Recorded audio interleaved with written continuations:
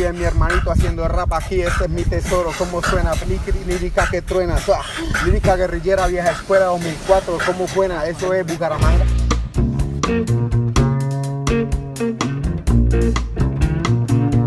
Pourquoi j'ai mal parlé de la Colombie Franchement, j'ai même pas à m'expliquer, il n'y a qu'à voir l'introduction de cette vidéo. Merci. Je rigole. Wesh la famille, j'espère que vous allez bien, que vous vous portez tous bien. Aujourd'hui, je suis assise pour essayer de contrôler mes mouvements. Et en plus, j'ai écrit un peu... Bon, c'est le bordel, hein. Mais j'ai écrit ma vidéo, donc on va voir si je vais moins euh, gigoter dans la gesticulation. Je vais vous parler un peu du, road trip qu'on a eu avec euh, ma cousine en Amérique latine. Franchement, moi, de base, en fait, le pays que je voulais le plus visiter, c'était la Colombie. Colombie, pourquoi? vous n'êtes pas sans savoir que j'aime trop les histoires de malfrats et tout. Et pour moi, Colombie, ça rimait avec Escobar et j'étais obligée de passer par là pour, euh, pour euh, connaître un peu l'environnement dans lequel il avait évolué et tout ça. Bref, du coup, je pensais trop que j'allais kiffer ce pays et que ça allait être genre le, premier sur la liste, même après voyage et tout ça. Au final, ça a été le Brésil et genre la Colombie. Quand on me demandait bah, du coup pourquoi ça n'a pas été ton pays préféré, je disais que c'était une culture de beauf, que j'avais pas du tout adhéré, que j'avais pas trop, j'avais pas trop kiffé quoi.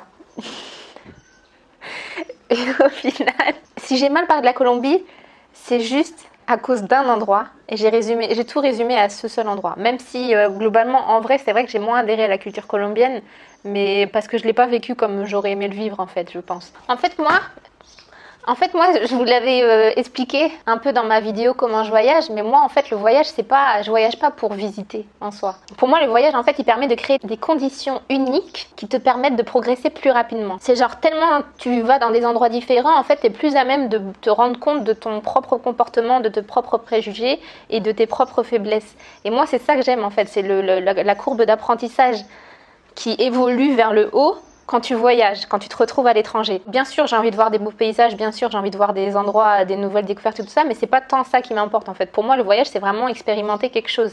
C'est pas juste voir, c'est expérimenter avec le cœur, vous voyez. Après, j'avoue que moi, je suis grave relou, hein, du coup. Moi, si je pouvais, j'aurais pu rester. Euh, au final, j'aurais pu rester trois mois au Costa Rica dans la même ville ou trois mois à Medellin, ça m'aurait très bien allé, même si j'aurais pas vu grand chose euh, en dehors. Parce que je préfère. Euh, il y a que quand tu te poses un minimum que tu peux vraiment apprécier les choses.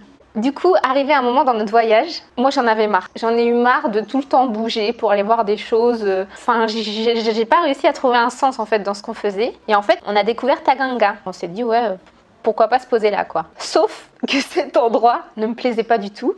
Mais quand t'es deux dans un voyage, au bout d'un moment t'es forcé de faire des compromis. Sachant que moi j'avais envie de me poser vraiment, qu'on apprécie la vie euh, telle qu'elle est euh, dans l'endroit où on est. On est tellement resté dans cet endroit, mais j'aimais pas cet endroit. Parce que. Alors attendez, je vous explique, j'ai pris des notes. En gros, Taganga. En gros, Taganga, c'était un repère à schlag. en gros, Taganga, c'était que des.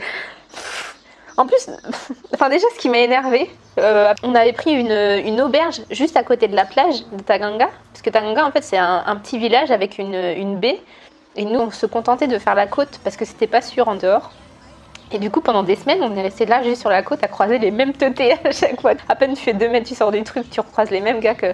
Enfin bref. Et le, plus, le pire, c'est que ces gars, Enfin, c'était tellement pas mon délire. C'était genre un peu ambiance euh, baba cool, euh, des voyageurs. Euh.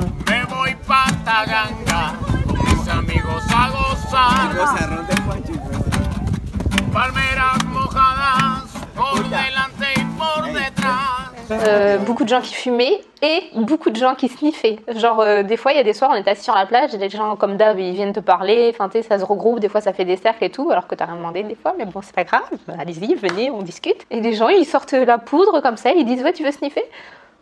Ça ira, je te remercie, vas-y, tu peux passer.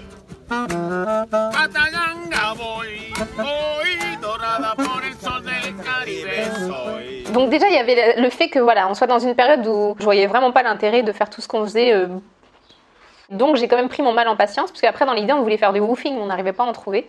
Donc j'ai pris, c'était une période d'attente en fait.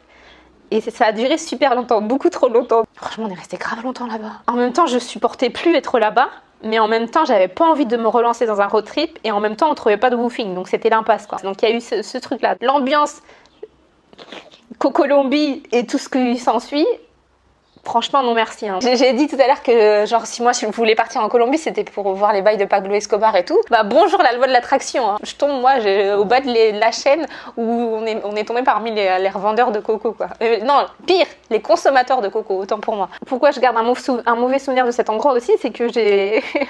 je vous raconterai ça dans une autre vidéo, mais je me suis fait, euh, je me suis fait agresser en gros, avec un gros couteau.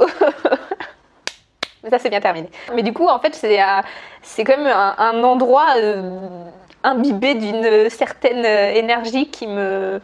Voilà, qui me tirait pas vraiment vers le haut. Pour vous dire un peu à quel point ça m'a pas du tout plu, tellement ça m'a vénère cet endroit, il y a rien de Taganga sur mon profil Instagram. Alors que Instagram, Dieu sait que c'est genre mon, mon CV. Taganga laisse tomber, je l'ai rayé du truc. Bref, genre ce qui m'a vénère aussi, genre le jour où on s'est enfin décidé à partir, les gars qu'on connaissait là-bas, ils nous ont sorti l'expression. Il y a une expression en fait là-bas qui dit sal si puedes.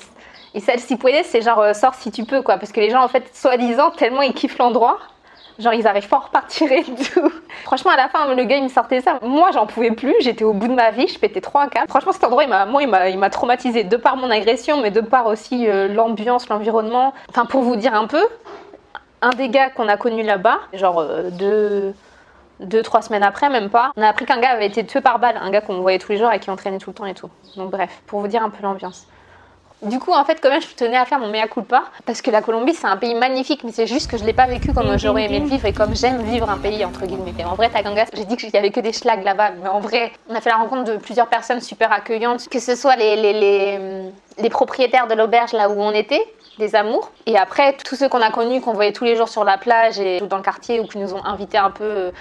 Un peu chez eux et tout, franchement ils étaient adorables et ce qui était intéressant c'était quand même que, parce qu'il n'y a pas eu que du mauvais, donc il y avait des Colombiens, des revendeurs de coco et tout ça. Il y avait quand même pas mal de voyageurs, mais euh, des latinos quoi, qui, voyageaient euh, dans l'Amérique latine en fait, à, leur manière, en vendant leurs bracelets, en vendant des, en faisant de la musique. Donc, euh, ça, c'était super intéressant à ce niveau-là. En vrai, on a bien rigolé quand même. Il y a quand même eu quelques moments qu'on a, qu'on a passé qui étaient sympathiques. Quelques. Ah, Une heure, c'était relou. ça m'a saoulée. Ah, j'étais blasée. En vrai, j'en avais vraiment marre. hein. Et moi, pour que quelque chose me saoule, faut y aller. hein. Mais là, j'étais vraiment. Ah, vas-y. Bref, vas-y, je reste sur les points positifs. Euh, En vrai, je, rigole, mais j'essaie de chercher d'autres bons souvenirs. Il y avait les anciens après dans la rue, euh, ou euh, le, plat là qu'on se bouffait tous les jours, je sais plus comment ça s'appelait là dans les feuilles de banane. Ça, je kiffais ma, c'était mes petits plaisirs du, de, ce séjour là-bas. Quand je revois les images, c'était super mignon malgré tout. C'était quand même un, joli petit endroit euh, qui était euh, voilà entouré de plusieurs euh, plages de cristal. Enfin, c'est quand même les Caraïbes, donc c'était quand même, quand même sympa d'être là-bas. Ma sœur, t'es en Colombie, à l'étranger, profite un peu, non? Ah oui, du coup, non, mais ce que je peux en tirer, parce que après, voilà, c'est bien, je raconte mes expériences et tout, mais qu'est-ce qu'on en tire? Qu'est-ce qu'il y a à retenir dans cette vidéo? C'est que si vous voyagez à plusieurs, eh ben, il y a des concessions à faire, forcément. faut apprendre à prendre sur soi. Que tout ne se passe pas toujours comme tu as envie, ça te permet de, te forcer à relativiser. Il en est ressorti un peu de fierté quand même. Voilà, merci Taganga pour m'avoir fait euh, faire euh, ce travail sur moi. En fait, c'est ça la conclusion. C'est juste que le travail sur soi, c'est trop important. Et que c'est dans le voyage, personnellement, je trouve que tu es plus à même d'être confronté à toi-même et aux autres, vu que tu perds en fait euh, tous les repères que tu as autour de toi. Donc voilà. Et euh, de ah oui, et de ce qu'il faut retenir aussi, c'est que de chaque ex- expérience négative, il faut en retirer du positif parce qu'il y a toujours quelque chose à apprendre, même si ça t'a cassé les couilles de rester si longtemps dans cet endroit de merde. Non, en vrai, Taganga, bon, allez, au final, j'ai un peu d'affection pour cet endroit quand même, parce que, vas-y, c'est un peu le blême maintenant tellement de rester longtemps là-bas. Si quelqu'un a l'occasion d'aller à Taganga, vous passerez le bonjour à tout le monde. hein. Je sais pas s'ils nous ont zappé depuis ou pas, mais... Voilà, en tout cas, euh, je vous recommande tout de même Taganga parce que c'est quelque chose, à, un endroit à voir. Et après, moi, c'est que mon, affaire personnelle, c'est moi, avec moi-même, comment j'ai dû gérer ça et tout. Mais en vrai, Taganga, c'est un endroit chouette. Et si vous voulez vous procurer de la coco beaucoup moins cher qu'en Europe, de très très bonne qualité, contactez euh, le poisson, El Pescado. Mais sachez qu'il se fait une marge de ouf parce qu'il revend, il revend ça 10 fois plus cher que ce qu'il a acheté. Allez, puisse la famille, j'ai trop parlé.